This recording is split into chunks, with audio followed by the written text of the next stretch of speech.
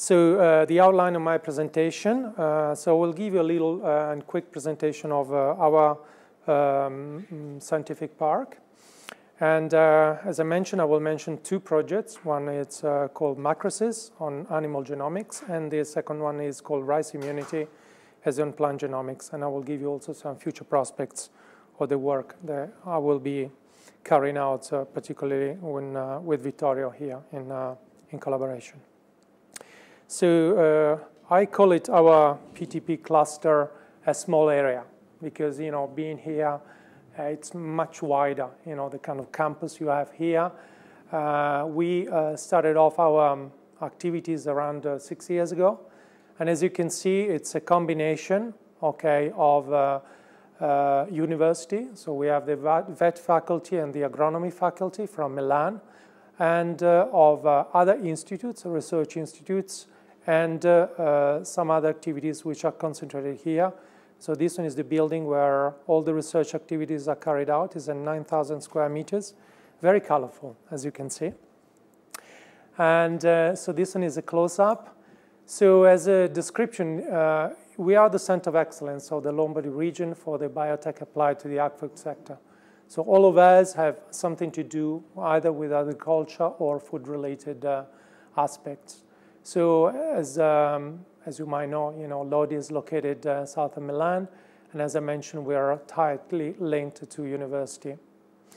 Uh, so internally, we have a research center uh, where also my activities are carried out, and a bioincubator, uh, which is a, a, place like here in area where we host, you know, different uh, spin-off from university or um, small medium enterprises. And we also created a business park which is not active yet, but we hope some of, uh, some of these small enterprises will become successful and then uh, will develop their own uh, uh business inside a business park. So our general mission is uh, to develop uh, innovative solutions on the aquaculture sector to support Italy, even if this moment is very difficult also for research. And we also do a lot of technology transfer to small and medium enterprises. So I mentioned the business incubator. So uh, some of my work is also to uh, identify uh, new ideas, okay, and then uh, uh, develop uh, business plans, and then verify market um, applicability or market prospects, do some economic feasibility, and then try to help, you know, building up new codes. presently, we have 15 new codes.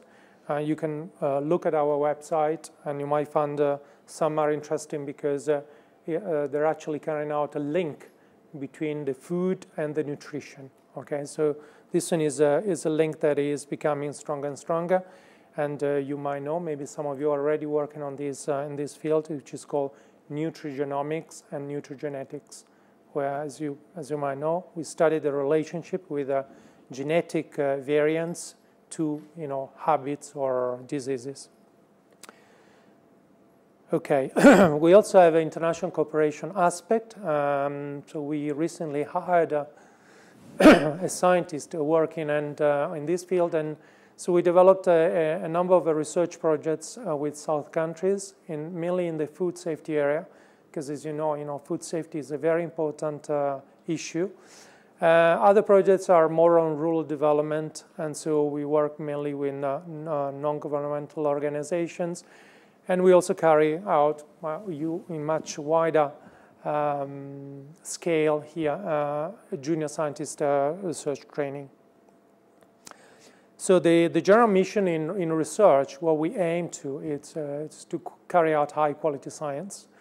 Uh, of course, high quality science in, in the animal and plant sector. Um, in an international context, addressing basic and applied research.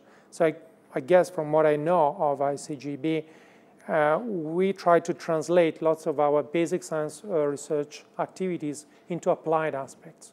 So it could be patents, could be diagnostic kits, uh, could be all sorts of other. I, I, think you also have components towards, more towards applications or towards market or um, maybe selling new ideas or know-how uh, to maybe pharmaceutical companies. Okay. And so uh, internally, we have around 60 researchers, and we're divided in uh, two, in two areas, animal science, and we have uh, three different, what we call sections, and plant science, uh, where we have a general plant genomics, and uh, I also created this unit when I joined around five years ago. Alongside the, the research labs, um, are mainly focusing on basic science research, we have these four platforms. And so those are central platforms, uh, support in all the research activities uh, on uh, genomics, on proteomics, in chemistry, and in bioinformatics. Okay, so all the research groups can benefit of these central facilities. so these central facilities run kind of service for internal users, uh, the research, the scientists, but also for external users, okay, uh, via collaborative projects or outsourcing. So all of our work starts really from uh, a number of genome projects. Uh, we contributed to all the genome projects that I've indicated here. So we uh, contributed uh, sequencing and uh, annotating and uh, defining some of some of the some of the plant, mainly plant genomes, and also some of, some of the animal genomes.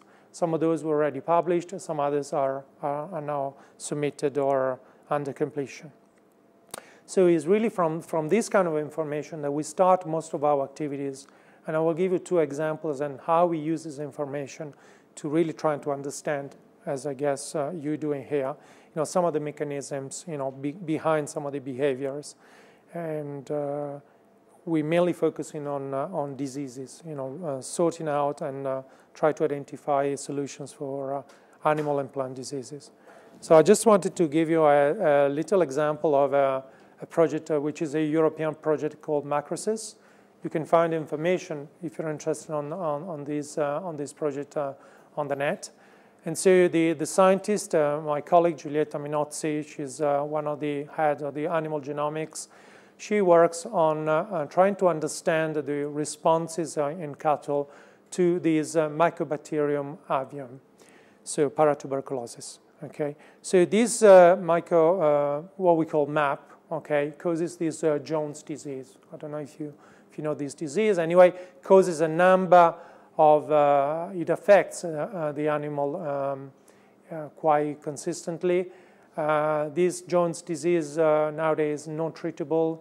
Vaccine, they're not so efficacious, and it's, it's a very costly disease for dairy production. And today, the host genetic components, they have very low heritability. So we, we, our challenge was, and the, the, still ongoing challenge is to identify some of the genetic components, you know, behind the susceptibility to this disease, in trying to identify mechanisms of resistance. So the, the way we approached uh, this one a couple of years ago was uh, after the um, sequencing of the bovine genome, there were you know millions of SNPs which were identified, which were polymorphic uh, in a in a certain uh, population. So uh, with, uh, in collaboration with Illumina, we, we developed this 50K SNP chip. And what we did, we genotyped um, 100, 500 animals which uh, uh, were cases of Johne's disease and 500 controls. Okay, so then we phenotyped all of these animals for a, for a number of, uh, of traits relating to productivity, relating to immune response, uh, relating also to, to their behavior, okay? So the, the aim of this work was to really localize regions and genes uh, which had an impact on uh, uh, Johne's disease susceptibility. And also associated to that, once we would identify candidate genes, also identify the networks and the biological pathways, trying to, to then reconstruct and identify strategies to, to overcome uh, this, uh, this disease. So we used kind of standard methods nowadays. You know, we, we carried out what we call the genome-wide association analysis, and uh, we used uh, genome-wide association using mixed models and regression. I guess some of the bioinformaticians, I don't know if they're here, but you know, these languages uh, should be you know kind of straightforward for them. Maybe not so much for other type of scientists. And uh, uh, so we, we obtained uh, some, some results that I will show you in a minute. And so the, the rationale was that we, we then identified areas which had mm, significant association between specific phenotypes and specific genotypes. And then we looked at the genes which were within one megabase upstream and downstream of these regions, uh, identifying at least clusters of six uh, associated SNPs. Then we identify the, the putative function of these genes and trying to understand the network or pathways uh, to which these genes uh, belonged. So uh, as you know, genome-wide uh, uh, analysis, association analysis is, is represented by, by these kind of uh, plots. and so the, the significance of specific SNPs associated is given you know, by some biostatistical parameters. So th those, you know, it's a small set of SNPs which are tightly associated, okay, in, in these specific uh, linkage groups. All of these are different linkage groups. Okay, so here are uh, some, of, some of the uh, tightly associated SNPs, uh, which are uh, candidate uh, areas for us. So we, as, as I mentioned, we, we, started to look at the genes subtending these, these areas, and we identified some, some of the genes which um, made some sense in, in, in, our biological system. So uh, all the genes in blue are actually in the areas uh, where we identified significant association, and also uh, they are uh, following into this uh, category. It's a general category, antimicrobial responses, but also small molecule bi biochemistry, cell morphology, and of course, some aspects of cell death. So then we, st we started to, to then develop uh, what we call uh, you know, gene networks and uh, try to, to understand you know, some of the genes which were you know, putative genes involved in these responses and how you know, they were fitting in uh, known signal transduction pathways or metabolic pathways. So we mainly worked on these um, antimicrobial responses, infection mechanisms, and cellular proliferation. And some of these data are actually coming from the human. Okay, so we try to translate from all the human, the large body of human information, back to the animal uh, information. As we know, there are, of course, uh, lo lots of similarities between the immune response in the two systems. So this work, then, uh, uh as I mentioned, was based on, on these uh, three main uh, approaches. And now we identified some, some of the regions, some of the candidate genes that we're doing fine mapping, trying to really narrow down to very specific uh, uh, genes and gene functions. And also alongside that, all of our putative genes, we use them in an in vitro cell system um, where we do uh, kind of in vitro infection with a, with a mycobacterium and trying to really uh, pinpoint uh, uh, the most important ones and their type of regulation. At the moment, we're looking at transcriptional regulation. Uh, okay, so the, the second area uh, that I wanted to talk is, of course, on rice genomics, which is the reason I'm also here collaborating with Vittorio. We're both working on the rice uh, system. So we created five years ago this group, okay, and uh, here I've, I've, just described our general vision, uh, which is really what we, we aim in the long term to, to, to be able to do, and really is to, to support the breeding programs. So, so how plants will, uh, will be uh, best performing in the field, so producing lots, lots of more rice with less diseases and uh, more what we call eco-sustainable approach. Okay, so we, our mission is, is really to use the available information. Of course, we don't use any GMO because our institute is not really pro as the whole Italian situation anyway. So we really try to use uh, what is called biodiversity, so what is existing in nature, and really plugging in uh, some of the molecular biology and genomics, um, which in rice are, are, are now uh, very, very well developed as uh, now more than 50 genomes were fully sequenced of uh, uh, 50 different varieties. So we can use all of this information and, and exploit this information for our, own interest, scientific interest. So here I would like first to acknowledge uh, the scientists which were involved uh, in, in the activities and the, in the projects I will, uh, I will present to you. Uh, so uh, our, our team is mainly of Italian scientists uh, at the moment. if now we have a Chinese colleague, a senior scientist in China, which, which is going to coordinate some of the activities. So the, the project that I wanted to mention to you, it's called Rice Immunity and really aims at studying the molecular mechanisms of resistance to a fungal pathogen, which is called Magnaporthe grisea. So this work has been carried out over the last three years in collaboration with a, a number of other institutions in Europe. So, uh, so the problem, the problem is uh, what we call the blast disease. Okay, so the problem is really um, uh, depicted in this slide. So 70% of the Italian varieties, so the rice which is grown in Italy, is highly susceptible to, to this fungal pathogen. And so the, the real uh, phenotype that you see when the, the plant is attacked by this fungus, as the name says, you know, the, the, fungus is really blasting out of the leaves and then uh, is really uh, destroying the leaf completely. And I will explain you why uh, this fungal, uh, fungus works like that. So this one is a big problem at the really applied aspect because Italy is the main producer of rice in Europe. Okay, well, Europe is not really producing lots of rice.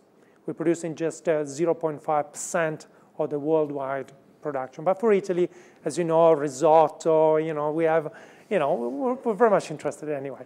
So, so anyway, so this, this one is the biggest uh, problem uh, in Italy. And in 2008, it destroyed 40% of the Italian production. So when it, when it comes out, it's a, it's a, it's a major, major, major problem. So this, uh, this fungus uh, has a life cycle. So we, we can grow in, in vitro the, this fungus. So we know quite well. We, we already sequenced at least uh, 10 or 12 uh, different strains of the.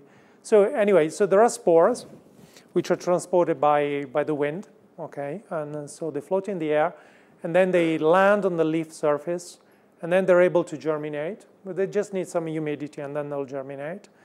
And then uh, they, they have a structure which is called appressorium. Okay, so they're, they're able to, to really form a structure that they really adhere to the, to the leaf surface, so it would be very difficult. And then is really using brutal force, so it's osmotic pressure to really uh, go through the epidermal, uh, so the first layer, like our epidermis, okay, and then, uh, so this one is called biotrophic phase. Okay? So what happens is it gets into the cell, and then it doesn't want to kill the cell. It just wants to take all the nutrients. Okay? So progressively, you know, it takes all the nutrients, and the plant is kind of starving. Okay? It doesn't have any more nutrients. And then cells try to collapse. Okay? And then at that stage, he thinks, well, okay, now it's better to destroy everything. Then he enters the necrotrophic phase, doesn't care anymore, okay? He says, oh, I have enough nutrients, I have enough spores, I've uh, already replicated myself. So he starts to, to, you know, it keeps going and uh, it keeps growing inside the cells. So it's an intracellular fungal pathogen. And then he bursts out, you know, of the leaf. And then he, he, he creates new spores, okay? So that's the reason when we will look at the phenotype, okay, so here are small islands, you know, full of spores, okay? So you see the center and uh, all around is yellow. Yellow because the plant is deprived of all the nutrients. But then here in these areas, it activates also cell death mechanisms, you know, program cell death in the uh, mechanisms. So the cells, you know, enter in a suicidal kind of program. So we wanted to really to, to understand, you know, some of the mechanisms uh, behind, you know, these uh, uh, these kind of events. And uh, the, the angle that we wanted to take, uh, so most of the scientific community started to understand and you know, to, to investigate really what we call host resistance. So really the, the strains which attack rice. So we decided a different approach. So we've taken strains which do not attack rice. They attack other cereals, you know, kind of wheat uh, or uh, sorghum, okay. So normally, and here is the example of this BR29, okay, rice is kind of immune, you know, to this. So the, we wanted to understand what really happens, you know, what kind of responses the plant activates. And, no, and then this one is the host pathogen, so okay, which is called FR13. So to these, the same variety, so the same plant, is highly susceptible, okay? And then there are intermediate um, situations where we use other strains and we see a kind of intermediate response. Furthermore, there is also response uh, which is genotype dependent. So that means individual one, okay, is different from individual two, and this one is for example, more susceptible, okay, to these strains, and this one is more resistant, okay? So of course, as, as expected, they behave differently. So we think that, for example, this guy is kind of immunodepressed. You know, he's feeling, well, this fungal, okay, let it go, and then who cares? So this one will have a very low fitness, okay? So for us to understand also the modulation of these responses is, is also very important.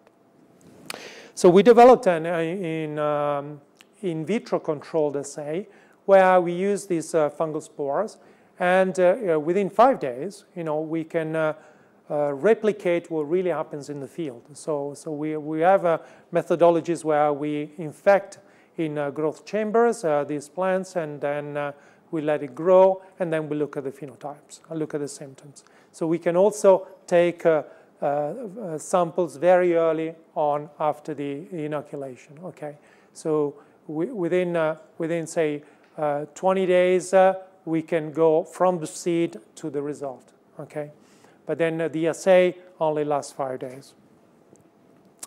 Okay, so so first we looked at a number of uh, cellular responses. Here I've, I've, just put one example. Okay, so uh, this this one is kind of the spore which lands on the epidermal cell which you see here. And then you have, uh, at that stage, you can have uh, different responses, okay? So normally you have no response. So the, the cell, okay, says, oh, okay, you're there, I don't care. You, you, you're not really bothering me, okay? Or then the cell says, well, actually, this one is against the spore, and it tries to penetrate, and it says, well, actually, you're bothering me. And so I activate lots of cell death okay, then, then I stop you because you are a biotroph. You want to take all of my nutrients. So the plant says, well, I better stop you within that cell that you're trying to attack. So you're not attacking and not depriving the rest of the plant, okay? So this one is a, a normal kind of response that we have in plants, but also in other, in other animal and human systems, okay? So in, in, uh, in, the, in this case, okay, the, the kind of activation of cell death is more widespread. So it can spread to uh, neighboring cells. And then in this case, is the case of susceptibility. So it's kind of difficult to see. But anyway, this, this one is our spore. It actually penetrates the cell. This one is kind of the immunodepressed guy, okay? So uh, the spore and then the fungus penetrates and make this intracellular hyphae, okay? So there is some local responses, okay? But, but actually, the, the, the cell is still alive, okay? So eventually, you know, these hyphae, well, they're just sucking all the nutrients and then they will move out into other cells and continue, you know, depriving from all the nutrients. So this one is what happens in susceptible plants, okay? And this one eventually causes the symptoms. So we can quantify, you know, uh, um, taking these four classes, okay, which were the responses to different strains, okay? And not surprisingly, we found that, for example, these strains, which is not adapted to rice, is adapted to other species, it actually in mo most of the cells, okay, nothing happens. Okay, they're, they're kind of a type 1. Whilst, for example, the host, which, you know, gives lesions, you know, most is, is this type 4, okay? So most of the cells are, uh, are actually kind of uh, susceptible to these, uh, to, these, uh, to this strain. And then we have uh, intermediate situations, okay? So we, we're very much interested in understanding, you know, why then the plant, it actually in this case, you know, stops at actually the, the ingress, the attack, very early on, in such a way it cannot even penetrate the cell, okay? And, uh, and actually there, there is a lot of very little uh, cell death uh, activation. While in other cases, actually, the, the attack of the fungus is blocked, but then there is a massive cell death activation. So we really wanted to understand some of the basis of the innate immunity responses. Okay, so uh, a couple of years ago, we started you know, to do uh, some Affy arrays. There were these uh, 44K array, which is uh, kind of comprising most of the genes which are expressed in rice. Rice actually has more genes expressed than humans, okay? So which is an interesting thing. But we have a lots of duplicated, uh, large duplicated gene families, uh, which also explains why the plants are able to withstand lots of stress, you know, biotic stress, abiotic stress, because as you know, plants, they cannot move but actually they can move a little, but they cannot walk, they cannot hide. So they have to be there and able to respond to so, all sorts of different stimuli. Okay, so then uh, we, we inoculated, okay, with our system. we did, of course, you know, some biological replicates, and then we hybridized it to the Affy chip. Okay, so this one is our design. Okay, the design, as I mentioned, we have uh, different strains. We used one specific uh, uh, type, of, uh, type of plant, and then, of course, we checked uh, the symptoms, and then we took uh, RNA samples at very early stages because we wanted to, to, to see what early on happens, of course. And so, uh, so then we did our microarray experiments. so here we've taken three biological replicates, what you see. So the mock inoculated, that means we just sprayed on the leaf, you know, some gelatin or some water. And then those, those are, you know, our four different uh, strains. One which is, means it's fully susceptible, the plant. So the plant let the fungus grow inside, okay? Uh, the CL367 is actually another strain to which that specific plant responds activating cell death. Okay, so it activates cell death and then is able to block the fungus before it gets you know, infected uh, the rest of the cells around. And then BR29 is actually that strain uh, which uh, blocks very early on you know, the ingress and the attack of the fungus. And BR32 is kind of intermediate. So that fits also on, you know, on the whole transcriptome analysis because as you can see, uh, in, in this case, you know, there is a big cluster of genes which are kind of activated and actually here downregulated, okay? So it's interesting because uh, the cell really globally responds very differently, okay? And as you can see from this little clustering analysis, which was uh, very reassuring for us, the three biological replicates actually stay together because it was a bit worrying that because there is a lot of biological variability if uh, you know, these replicates would, would not fit according to, to this scheme. Jose. So we're mainly interested on, on these responses because those are responses uh, of the immune system. So the immune system uh, of the plant responds very rapidly and then is, is able to block the fungus. Okay. So the other thing is that in, in, in these two cases, you know, this one is a fully adapted uh, rice strain and this one is not. Okay. However, these two are very tightly linked because both of them activate cell death. So at the end of the day, what we're interested in is, you know, a cluster of genes, okay, which is specifically regulated, you know, in these kind of uh, events, okay, where the plant is able to block the fungus very early on, okay, or, you know, a number of genes which have very different type of regulation in, in the different groups, okay. So we focused on, on some of these genes, trying to understand, you know, the, their function. So the other interesting thing, is that there are in the database around uh, 5,000 experiments using the same Affy array. So we could use all of this information also, also to study bioinformatically, okay, how genes were co-regulated. And I will show you one example on how we use this information. So of course, as uh, all the people do in transcriptome analysis, we looked, you know, overlaps and specificity of, uh, of you know, different types of interaction, a huge number of gene lists, which, you know, doesn't really make any sense, okay? So anyway, we started off anyway trying to understand you know the genes which were uh, upregulated, downregulated in, in different types of interaction, and some of the genes were actually activated on uh, uh, only on some of the some of these interactions. And I will show you you know just one example. So this is what we call non-host, which is the innate immunity response, and this one is the host response. So when it actually the plant recognizes the fungus. Okay, so just uh, here we, we did some, uh, of course, gene ontology experiments, okay, the classification. And, you know, I just pointed out, you know, two, two interesting points. So here you see that practically in the non-host response, you know, this class of genes which are sulfur-containing defense compounds, that are completely absent, okay? So that means, you know, in the host response, uh, there, uh, there is activation of a, a certain number of genes which we we can, uh, we can identify as uh, belonging to this group. On the other hand, you know, uh, you can see in the host responses, we have uh, uh, another um, group of classes, which are classes something to do with secondary metabolites, okay, which are actually they're not um, expressed or differentially expressed at all in the host. So those were entry points for us on, on uh, trying to understand, you know, which were, you know, the metabolic pathways and the signal, signal transduction pathways, which were activated according to one response or the other response. So of course, then we started using um, a software which uh, places you know, all of our uh, genes and gene functions inside metabolic pathways, okay? So I just put a, uh, one example. So here's secondary metabolites, okay?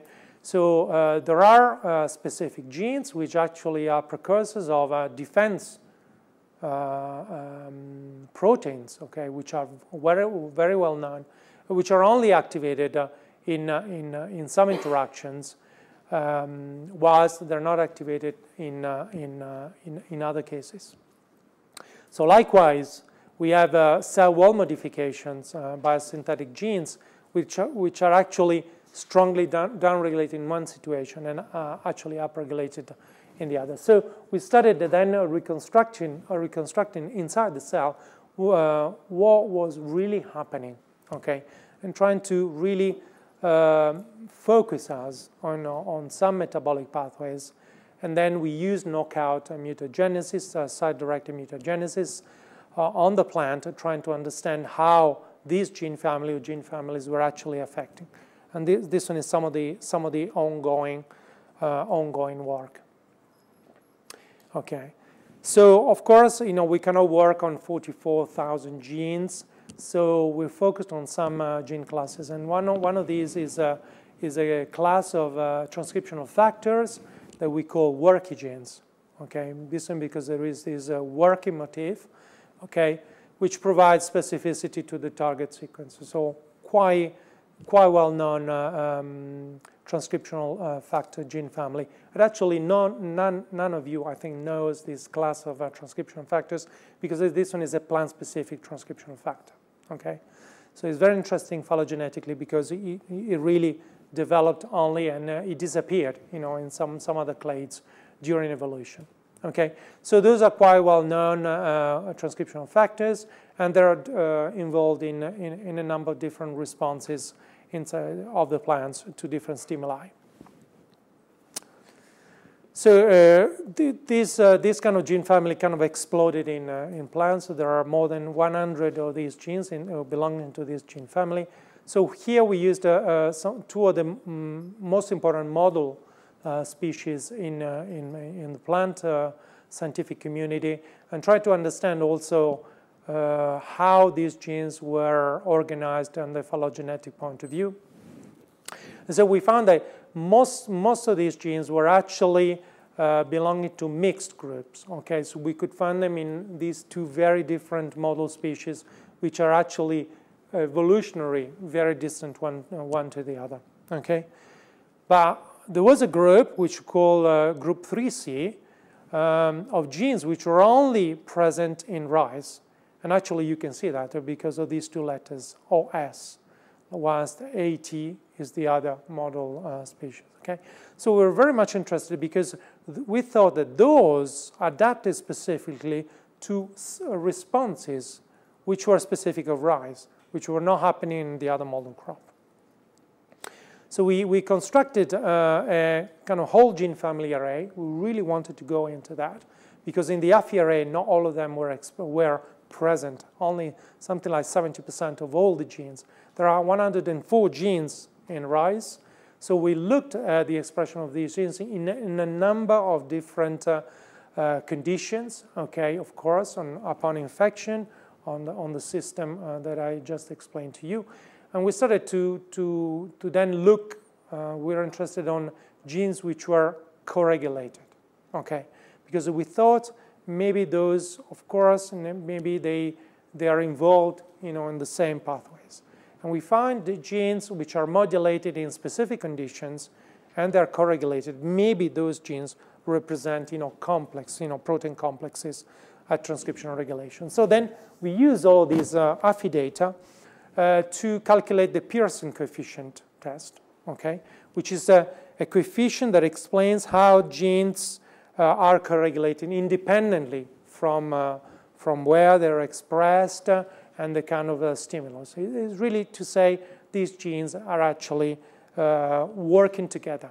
Okay, this one is a working hypothesis. Okay, so uh, all of these work is, as I showed you from, from the phylogenetic analysis, they're divided in different clades. Okay, so one of the findings is, as we might be expecting, you know, there were early duplicated genes, okay, which are actually working together because those are early duplications, and then uh, the function of those, you know, remained, you know, kind of uh, the same.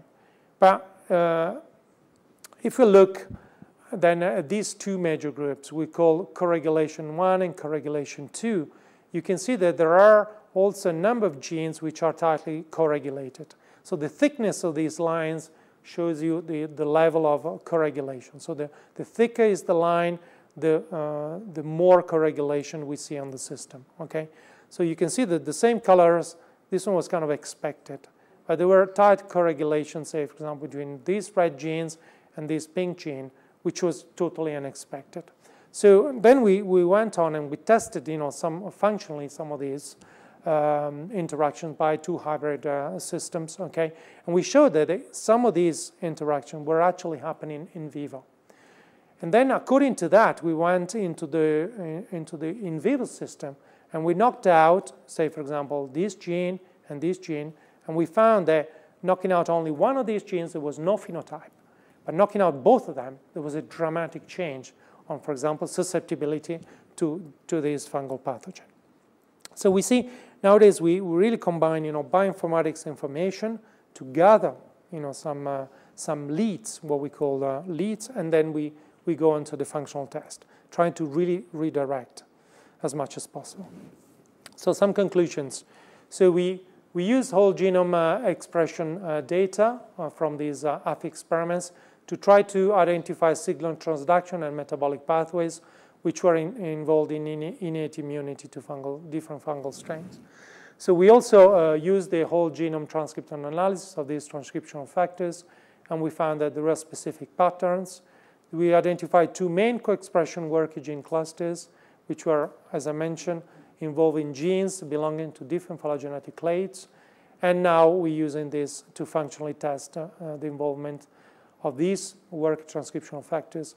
And so our uh, aim is really to identify the master regulators of different cellular responses. So the one which are really up there and they regulate a number of responses.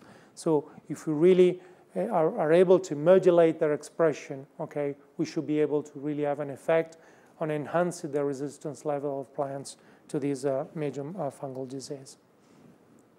So uh, the reason I'm here is that uh, and I are involved in a national project which is called Risinnova. And uh, we started uh, you know, some collaborative genomics efforts to unveil the mechanisms leading to the understanding of the interaction between rice and beneficial and pathogenic bacteria and fungi. So we're now moving into trying to understand not only a single fungus, how it interacts with the plant, but it interacts with the community which we know is present on the leaf and is also present inside the plant. Okay. So this one is, is the system that, that we're using. Okay, so the plant can be grown in different uh, growth conditions, okay, which are called uh, um, wetland, okay, and upland. In a sense that here there is a lot of water and here there is a little water, okay. And we know that the uh, communities change very much on the two growing habits. Okay, so we, we, we collected, you know, a number of samples, you know, from different uh, parts of the plant, mainly focusing on the, on the roots system, because this one is the most important one for plant growth. And then, uh, as, I, as we indicated here, we're, we're taking some of the metagenomics approach to trying to understand and pinpoint very important uh, components of these microbial communities, and also trying to understand the interaction with pathogenic and uh, uh, beneficial microorganisms interacting with the rice plant. So, uh, of course, a, a number of collaborative projects with different institutions in, in Italy and in Europe and also outside Europe. If you're interested to have more details, here's the website of our Rice Genomics group. And uh, I will stop here and uh, take any questions. Thanks.